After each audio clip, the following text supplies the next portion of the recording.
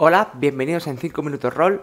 Hoy volvemos con una reseña y eh, volvemos con Vía, cerrando ya este juego. Vamos a analizar el último suplemento que nos quedaba, que era Ghost Dance, ¿vale? La, la campaña. Bueno, vamos primero con, la edición física. Es un libro del mismo tamaño que, el resto de la, de la, saga de Vía, con 86 páginas, eh, tapa blanda, encolado y bueno, misma maquetación que que todos los eh, demás libros de vía. Eh, aquí sí que viene el índice al principio del juego. Fundamental para mí. No como en otros que venía más un poco más avanzado las, páginas. El, la calidad es la misma que los demás libros. páginas normales, bien, a doble columna, maquetación sí que cambia un... Bueno, no cambia, no, no, es la misma, es la misma. Con el sello aquí el tema de imágenes son todas de, eh, em, de fotos, de fotografías, ¿vale? En blanco y negro. Por ejemplo, esta de, un casino. Y una cosa que no me ha gustado de la maquetación es el tema de los capítulos o las aventuras que no tienen una portada, por ejemplo, como, como este, pone bienvenidos a Ghost ¿vale? Pues no. En la página 17 empieza la campaña y sí, aquí te pone eh, la campaña Constance. Primer caso, Problem Solver. Y te vas al segundo caso, que creo que es Romeo Julieta, y te empieza aquí. Creo que es un gran fallo de diseño. Tenía que haber puesto eh, cada caso, ya que se puede jugar individualmente. Bueno, eso luego lo veremos más adelante. Eh, una portada como esta. Pero bueno, a, mí eso no me ha gustado nada, porque es muy difícil. No es muy difícil, pero que sí que no sé cuándo empieza uno y acaba otro. Podría haber puesto. Creo que una portada es lo mínimo que se puede poner. Tampoco me ha gustado mucho el, el tema de las portadas. Todos los libros tienen la misma portada. Creo que debería haber puesto otras portadas, aunque fuese del mismo estilo, con una calavera, pero de diferente animal. Creo que eso también visualmente pues pues es un para, mí es un fallete. Y sobre la versión física pues nada nada más. Si queréis saber algo pues dejadlo en los comentarios y lo lo miro y os lo, yo lo digo. Esta es la foto de archivo aquí de los indios, indios haciendo un pequeño ritual. Vale pues vamos a cambiar de de página. Bueno pues aquí seguimos. Eh, vale voy a hacer spoilers o sea que si vas a jugar esta campaña, no veas, no sigas viendo el vídeo porque te voy a destripar todos los entresijos de, de Ghost Dance. Si no la vas a, jugar y no sabes si te gusta o, quieres saber de qué va, pues sigue viendo que, que te voy a decir más o menos de qué va esta campaña y qué nos vamos a encontrar aquí. Eh, lo primero que nos vamos a encontrar es el Bienvenidos a Ghost Dance. Y aquí nos explica la estructura de la campaña.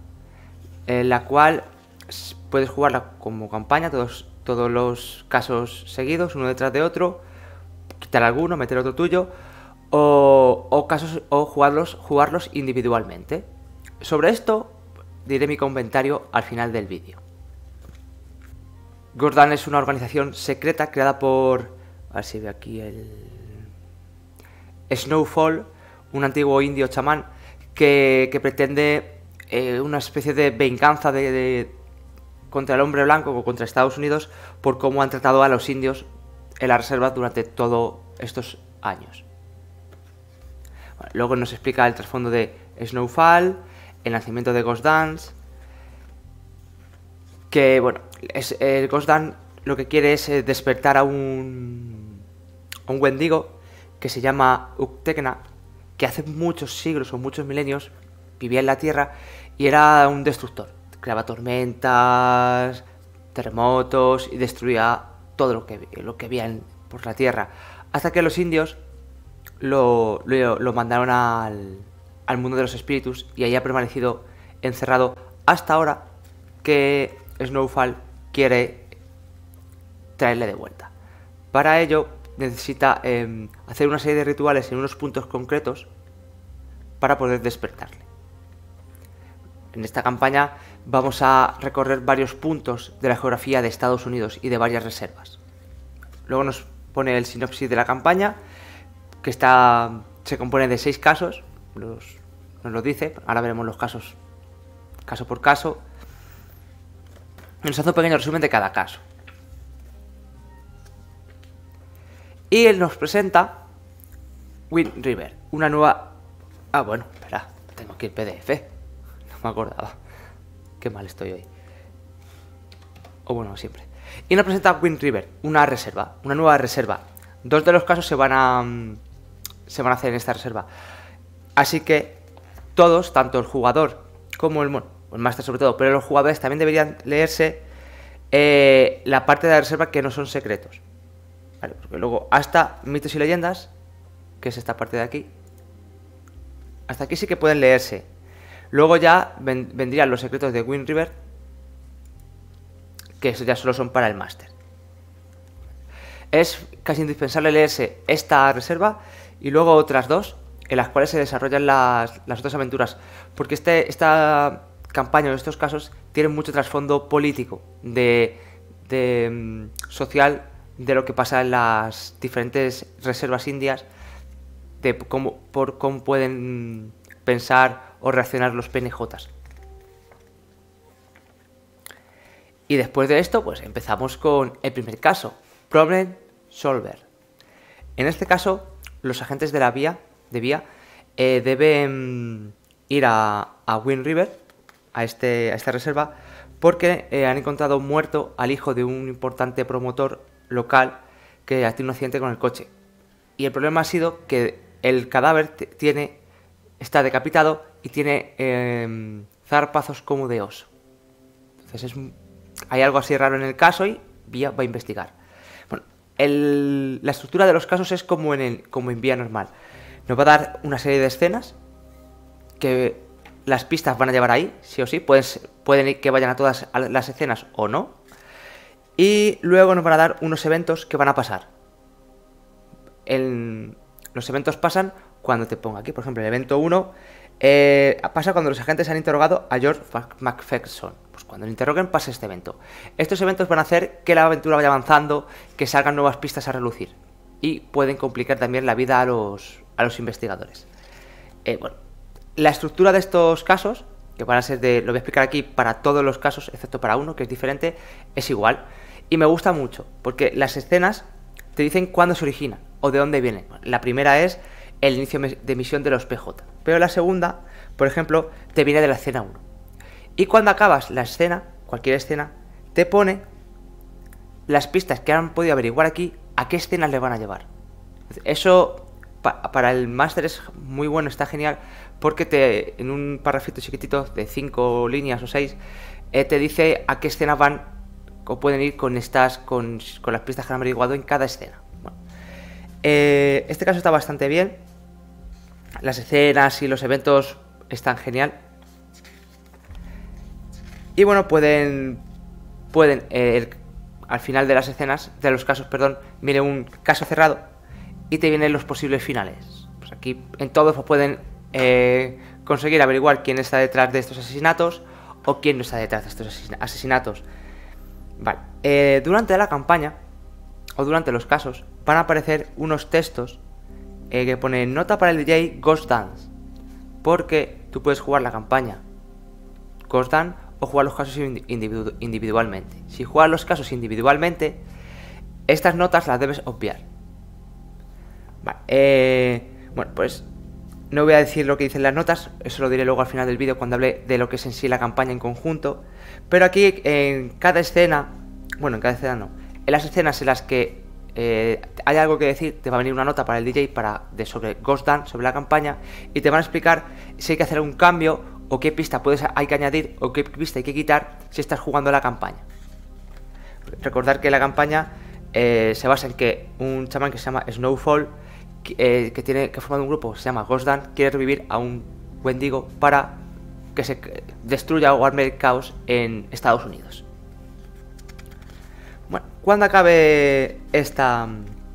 El primer caso que era en, Wind River, el segundo caso se llama Romeo y Julieta. Es decir, que los casos eh, no tienen nada que ver uno con otro. acabas un caso y empiezas otro caso diferente. El hilo de unión es Ghost Dance, esas notas que aparecen a lo largo de los casos. Bueno, en Ghost Dance eh, la, mm, la vía eh, recibe una llamada sobre dos jóvenes que piden auxilio.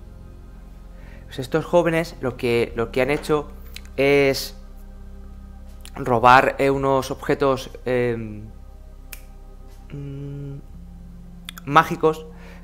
Aquí lo llaman de otra manera. Eh, no lo veo ahora. A ver, sí. Em, objetos fetiches mágicos de, de dos tribus. De, em, de los navajos y de los hopis. Entonces, eh, estas dos tribus están, en, no en guerra, pero sí en conflicto. Una, especie de guerra fría. Este caso se, desarrolla en la, Reserva Nación Navaja. estos dos jóvenes son de. Uno es de la nación Hopi y el otro de los navajos. Entonces están enfrentados, pero ellos se enamoran. Y deciden hacer un ritual usando estos objetos para que la, enemistad de los dos tribus o pueblos se acabe. Entonces lo roban y quieren hacer esos rituales, que lo tienen que hacer en ciertos puntos. En la campaña pueden. Los agentes de vía pueden encontrarlos antes o después de. O sea, antes de que acaben el ritual o cuando estén acabando. Bueno, eh, los hopis y los navajos los buscan por separado, porque han robado sus objetos. Los vías los buscan, pero no saben no van a saber al, primer, al principio que lo que ha pasado, ni que los navajos y que los hopis los están buscando. Entonces es una, una búsqueda con contrarreloj, aunque nadie lo sabe, de estos dos jóvenes que están huyendo, están haciendo ese ritual. Eh, bueno, pues eh, la estructura del caso es igual, escenas con las pistas y, y eventos. Eh, aquí los eventos, realmente hay solo tres eventos no, no hacen mucho, la verdad. Hay en otros casos que los eventos sí que están mucho mejor hilados con el caso o que molan más, o por lo menos a mí me gustan más. Aquí son un poco de relleno o por si quieres meter un poquito de acción en, a tus jugadores. Pues, el caso cerrado de, de, de Romeo y Julieta es si consiguen hacer el ritual por un tiempo la enemistad se va a acabar y si no lo consiguen hacer, pues los jóvenes tendrán que dar cuentas a sus respectivos pueblos. Vamos a la campaña, el caso Subidón.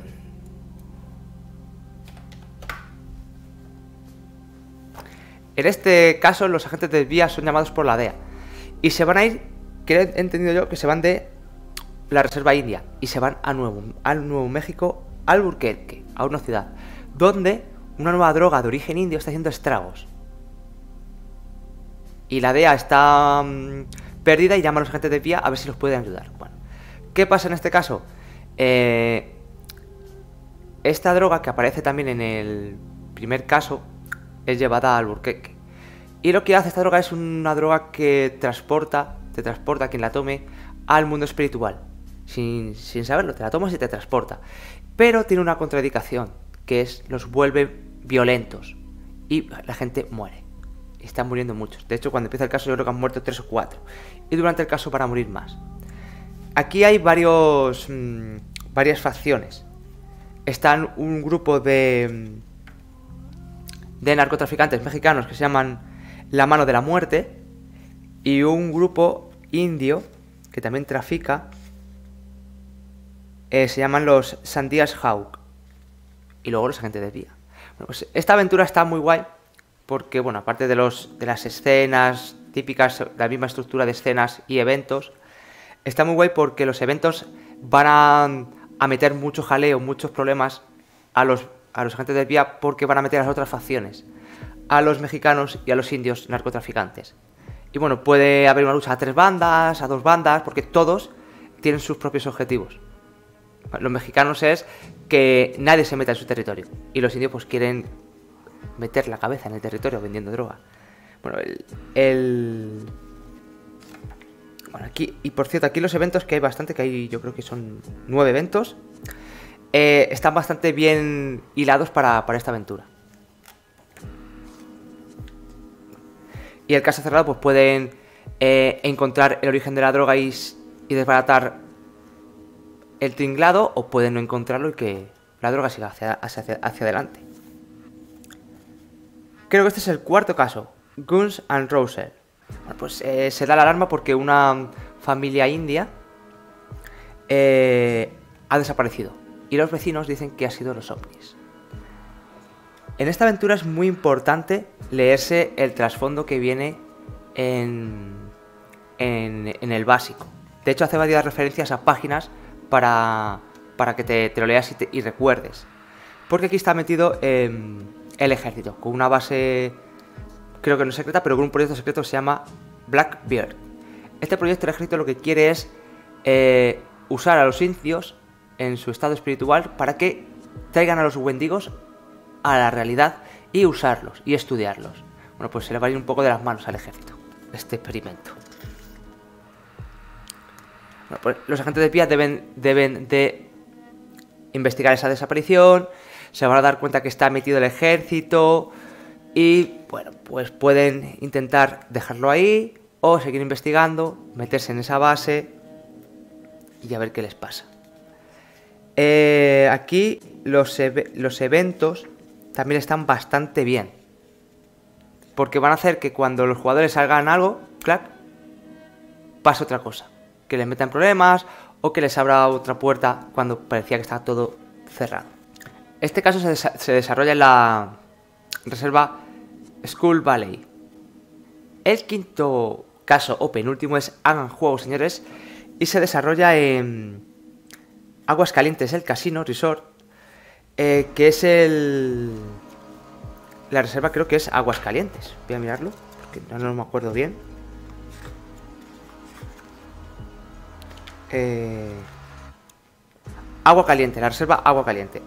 Bueno, pues aquí igual, aquí tanto el máster como los jugadores deben leerse su parte de, de, este, de esta reserva para, para por lo menos entender el tema de los casinos y cómo se sienten los indios de, este, de esta reserva.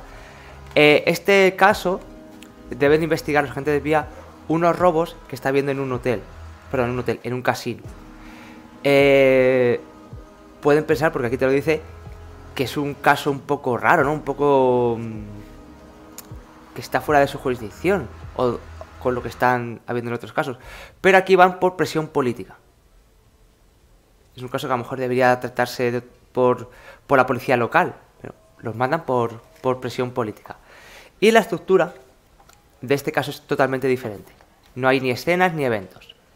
Este, em, este caso puede que tenga un poco más de preparación por el máster, porque lo primero que nos va a hacer es em, presentar a, todos los PNJs importantes que hay, con su ficha y su trasfondo, sus objetivos, y luego nos va a presentar en las diferentes eh, zonas del hotel. Zona, o sea, sótanos, zona de juego, habitaciones y tal. Hecho de menos el mapa del hotel. No sé cómo no hay un mapa del hotel para ponérselo a los jugadores, pero bueno. Al no ser un juego de mazmorras, puede que no lo hayan puesto por eso, pero yo lo echo de menos. Un mapita del hotel con el plano del hotel, vamos. Imagino que podrás coger un plano de un hotel de, de de internet, incluso a lo mejor el plano del hotel de este casino. Eh, porque creo yo que este casino existe en la realidad. Bueno, también nos pone, nos pone el plano del hotel eh, y luego un anexo que es una especie de... Tengo el PDF y me, me empeño en enseñar el libro.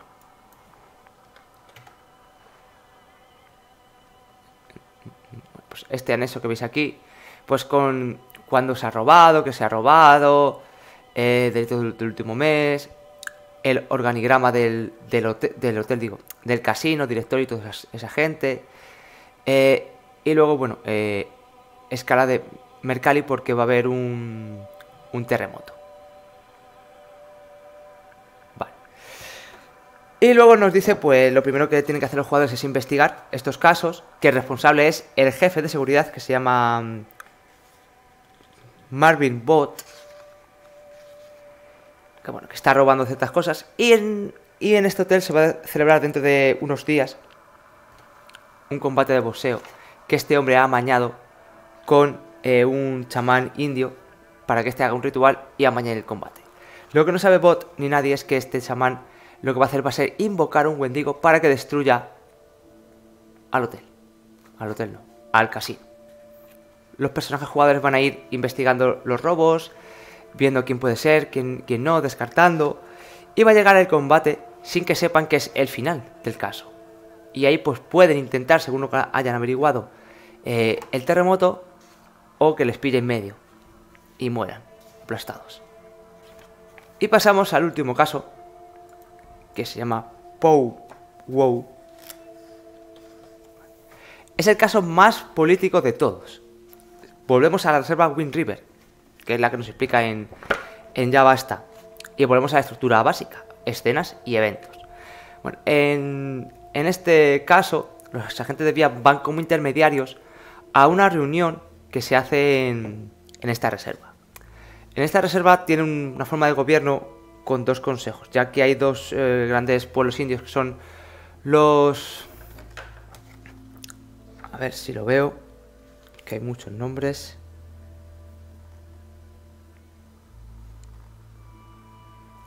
Los Aparajoe y los... A ver si lo pone aquí en la reserva india. Por no meterme la... No meter la pata.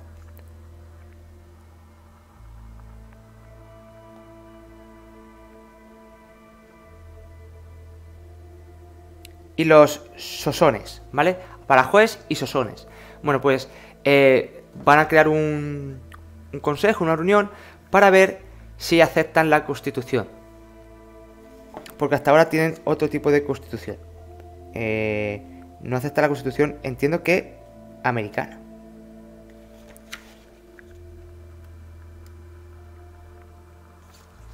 Pues aquí se va a debatir si aceptarla o no. Y bueno, pues los, la vía va de intermediarios. Y hay un penejote importante que se llama mm, John Aragon, que bueno, pues es, va a hablar y va, a decir su opinión sobre los pros y los contras de, de aceptar, como dicen aquí, a ver si lo veo bien, lo veo más que bien, es que lo vea, Indian Reorganization Art. Todo esto viene explicado en el tema de las reservas indias, tanto aquí como en el básico pues para su punto de vista, pero mientras va a darlo, sufre un desvanecimiento y queda en coma.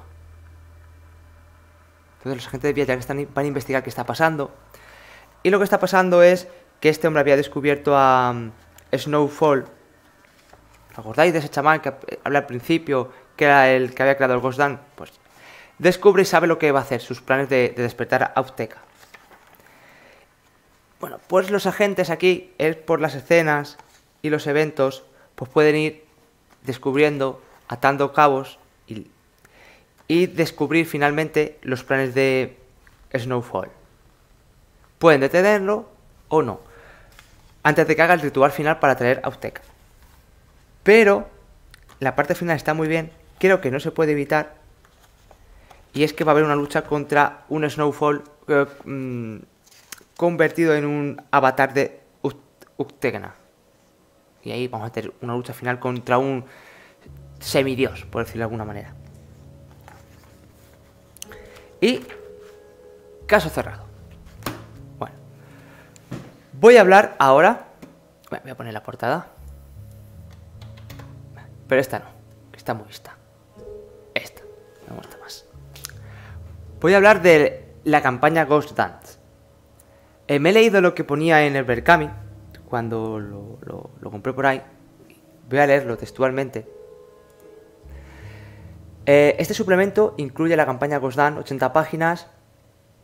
Gosdan es una campaña de 6 actos. Los, PG, los PJ persiguen a un grupo que intenta despertar a un mal ancestral al que los nativos americanos ya derrotaron en la antigüedad. Bueno, eh, puede ser una apreciación mía, pero jugarlo como campaña para mí es una decepción muy grande. Eh, los casos individualmente están bien. Puedo decir que me gustan todos, algunos más, algunos menos, pero todos me gustan. Todos, yo los jugaría todos, están, están muy bien. Pero jugarlo como campaña, eh, a mí personalmente no me atrae nada. por cómo yo veo las campañas. Para mí una campaña es una aventura larga, más o menos larga, de 10, 15, 20 sesiones, 100, da igual, larga, más de dos o tres sesiones, en la que eh, los capítulos o los casos están muy relacionados. Y para mí muy relacionados es que yo no puedo jugar el tercer caso sin haber jugado los otros dos anteriores porque me va a faltar mucha información y no voy a saber de qué va el tema. aquí eso no pasa, tú puedes jugar el caso 6 primero, luego el 1 y luego el 3, que no pasa nada, porque está pensado para jugarse individualmente. Lo que pasa es que han creado el hilo de Ghost Dance, que es súper fino. Súper fino. Mm, tan fino como mm, esta droga es la que estaban en el caso 1 y pueden pensar que, que algo hay raro. O este hombre, em, el que secuestran, en el caso que no me acuerdo cuál es, se llama Kutch, eh, pertenece a Ghost Dance. Pero. Pero son cosas muy, muy, muy, muy finas que casi no, no le van a decir nada a los jugadores, o es mi parecer, sin haberla jugado. Entonces, como campaña me parece. Para mí una decepción. Yo esperaba algo como en Mississippi. La campaña de Mississippi son cuatro aventuras pero está totalmente relacionado. tú no puedes jugar la aventura 3 de Mississippi sin haber jugado la primera. Y el final está muy relacionado. En Mississippi estoy hablando ahora. La campaña de Mississippi está muy relacionado el final con todo lo que han hecho. Pues para mí eso es una campaña. Aquí da igual lo que hagan en el caso 2, 3 y 4. El final de la 6 ya está marcado.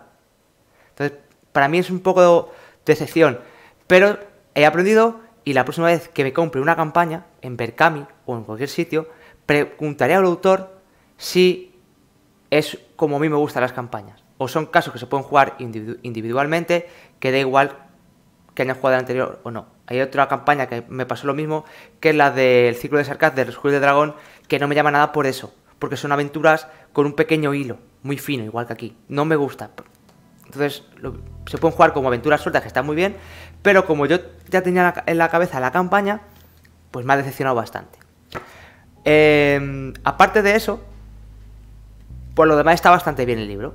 Son otros seis casos más que puedes jugar, que se añaden a los otros 5 o 6 que hay del básico, que total hacen casi 12 casos para jugar. Entonces, un juego en el que si tú no quieres crear aventuras, tienes muchos casos donde jugar, casos que están bien, estructurados, eh, la forma de que están estructurados a mí me encanta, me parece muy buena. Y el único fallo es el lo, para mí, por, lo menos para mí, el tema de, llamarlo campaña y que me falta un mapa en el en la aventura del casino y pues cosa más. A mí los casos me han gustado y el libro está bastante bien escrito. En tema de maquetación me falta que cada caso tenga su portada como esta. Me parece un poco cutre o que no o, que mal mal visualmente que no separe los casos, que acabe uno, por ejemplo, voy a poner la página 48 para que lo veáis. Caso cerrado, que acabe un caso y, y ¡hala! Empieza el siguiente. Pues no, cierra esta página, deja ese cacho en blanco mete una ilustración y pone una portada para, la siguiente, para el siguiente caso. Así que bueno, hasta aquí Gosdan, eh, la campaña de Vía. Hay más suplementos pero no, no se desbloquearon en el Berkami. No sé si el juego ha dado para que se desbloquee. A mí sí que me gustaría que los fuese sacando poco a poco, en preventa, uno, uno cada año, no lo sé, porque ya que están, ya que hemos empezado que hay tres, dos suplementos, pues creo que quedan otros tres, creo, tres o cuatro, pues que, termine de, de cerrar eh, el ciclo de vía. Así que bueno, pues gracias por por ver el vídeo, espero que os haya gustado. Si tenéis algún comentario, por favor, dejadlo en, los comentarios del vídeo, que yo responderé. O si es para el autor, intentaré decírselo a, Guillermo. Bueno, el autor, el editor. Y nada, nos vemos en los próximos vídeos. Hasta luego.